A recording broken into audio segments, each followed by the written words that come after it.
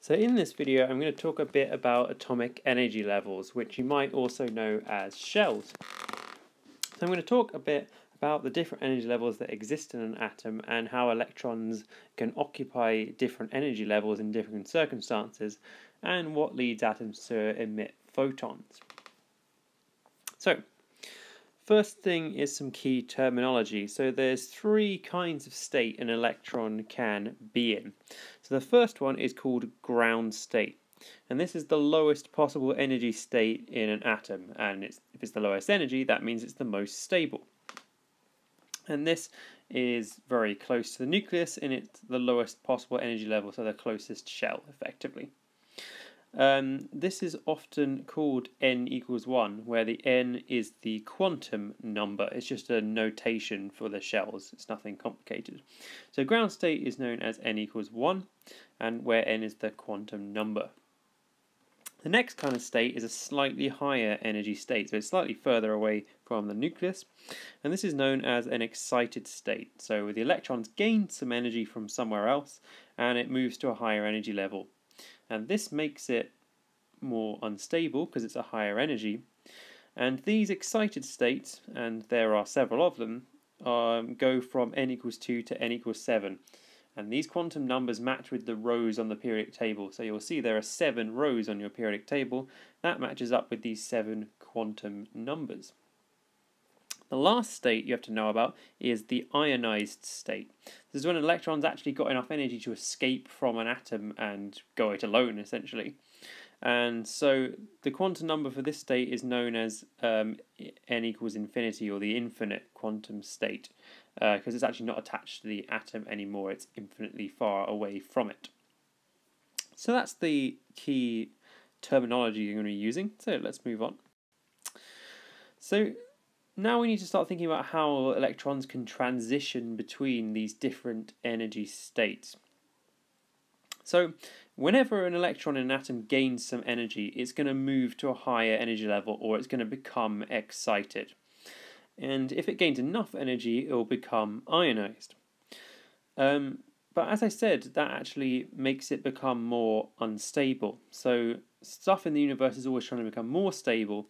So a process called de-excitation occurs to move it back to a stable state. So what happens is the electron moves down energy levels, but to conserve energy, it emits the, the a photon with the energy that it's lost.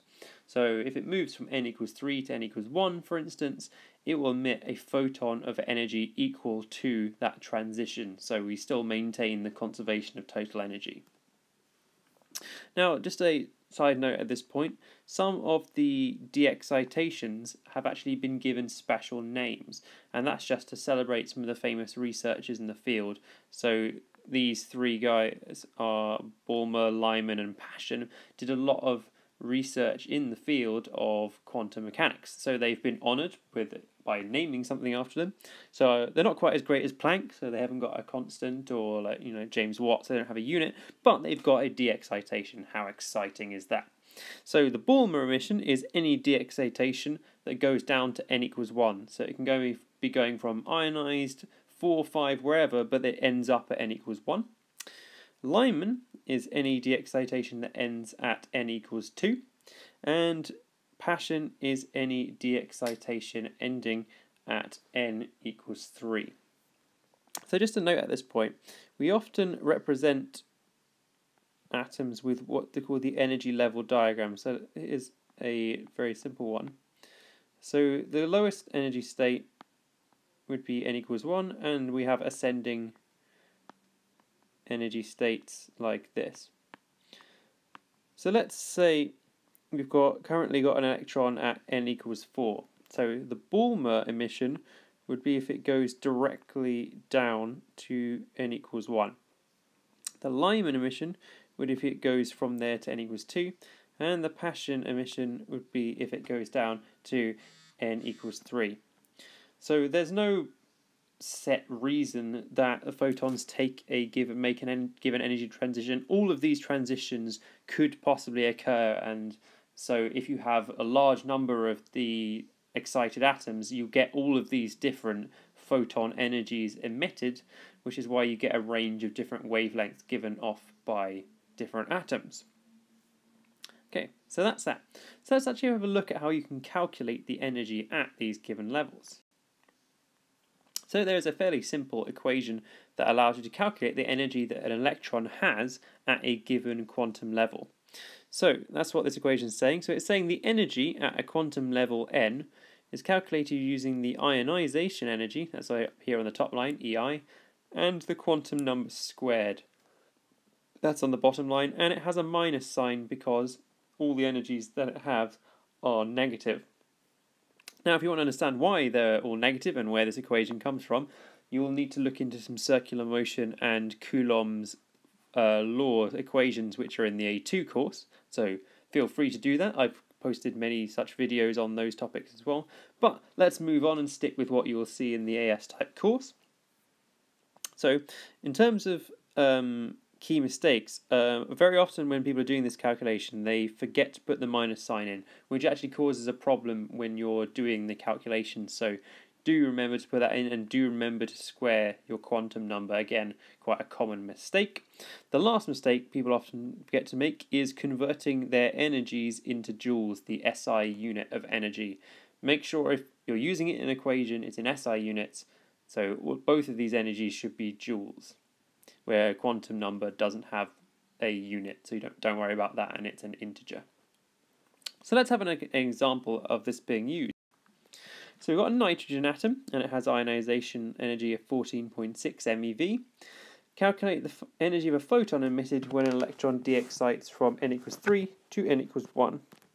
So the first stage with these is to calculate the energy at each of those states because from there you can calculate the difference between them. So let's put in the minus sign. So we've got the energy at the moment it's in MeV, so we're going to need to convert it first to electron volts and then convert it into joules using the conversion factor. And at 3, so that's going to be 3 squared. So that's the calculation for that. And you end up with minus 2.5 9 yada yada yada times 10 to the minus 13 joules. In terms of calculating the energy at quantum level 1, we're going through pretty much the same process, except we're going to change the bottom line to reflect that we're looking at n equals 1 and then so we're going to have 1 squared on the bottom line and this comes out at something slightly different. It comes out as minus 2.08 yada yada yada times 10 to the minus 12 joules. So we need to calculate the change in energy. So we always do when you calculate the change in anything, you always do the final state minus the initial state. This works for any area of science. We always calculate a change, the final minus the initial. So it de-excites from E3 to E1. So the final state would be at E1. And then the initial state would be at E3. And if you do that calculation, you end up with the number minus 2.08 times 10 so that minus 12 joules. So we haven't quite finished the question yet. So this is the change in energy of the electron. So the energy of the photon must be equal to, so the loss in energy of the electron is equal to the gain in energy of the photon. So that, that means the photon energy, so we often, we'll just call that HF because that's how it's calculated, would be the opposite of that. So that's where we get a positive number and you, all your photons will have positive energy because both frequency and Planck's constant are always positive and you'll end up with this value like this. So here is that all typed out so you can see that in case you couldn't read anything that I was writing. Um, so just remember, just a quick recap what we're doing. We calculated the energy at each of the given levels using the equation that I showed you earlier, remembering to convert into joules on the top line. You might notice here that I've taken a slight shortcut because I know to convert from mega electron volts to joules, it's just 1.6 times 10 to the minus 13. So something you can think about doing. Calculating the change, so it's the final state minus the initial state, and then the photon energy would be the opposite of that. So if this is a minus, this would end up being a positive number.